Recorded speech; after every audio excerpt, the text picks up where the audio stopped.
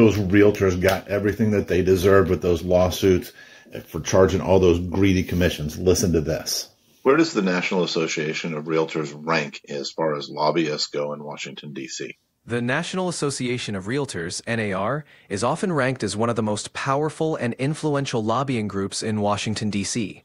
It regularly ranks at the top in terms of spending and influence, advocating on behalf of real estate professionals and issues related to housing and property rights. What are some of those issues that they advocate for?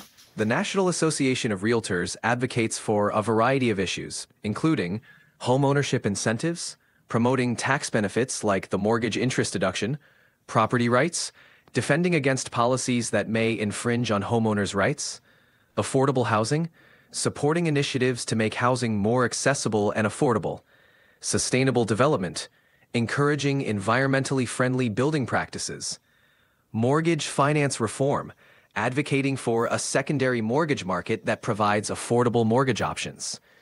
These efforts aim to benefit both real estate professionals and property owners.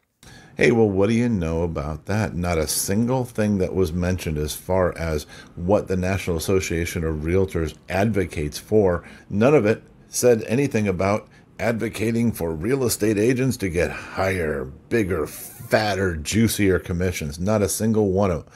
Every single thing that was listed was for the benefit of homeowners and property owners and people who want to buy properties, right?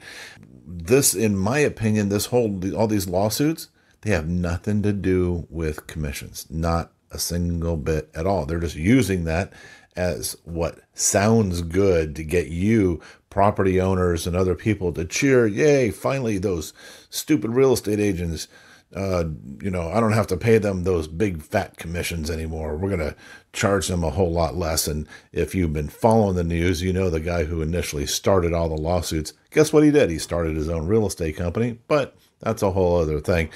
Um, so you know, think about it. You got they're they're they're talking talked about homeowner incentives, right? So incentives to be a homeowner. The wealth of this nation is built on owning properties.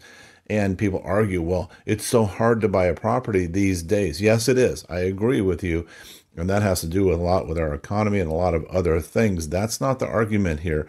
Uh, but as a property owner, there's, you know, they, they, would fight for tax benefits. I know here in California, we've had Prop- Proposition 13, which help keep property taxes manageable so that seniors are not pushed out of their homes because they can't afford the property taxes when the property when the property value goes up and the, under the guise of oh well let's get the old people out of those houses so new families can move into the houses. No build more houses.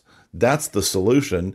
Uh, but no we have all these you know over-regulated uh, uh, things that prevent us from from building houses. Property rights owning property right? If you have your property rights taken away because this national association of realtors gets wiped off of the planet here because of all of the lawsuits, who's going to stand there on your behalf as a homeowner, as a property owner, as somebody who wants to buy a property? Because we even talked about affordable housing, right? And like coming up with first time buyer programs and that sort of thing, supporting initiatives to make housing more accessible and affordable.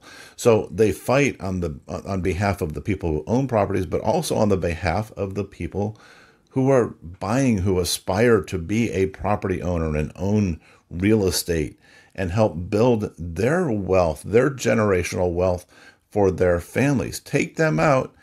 And aside from everybody standing around on the corner in their block going, Gosh, I can't believe my property taxes are so high.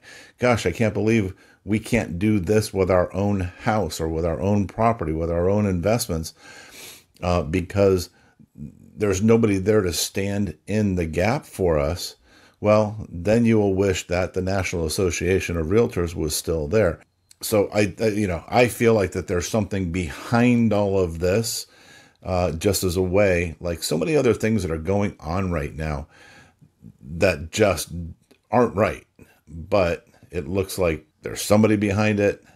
They're trying to push them out so that they can get to you, the property owner. So, what do you think?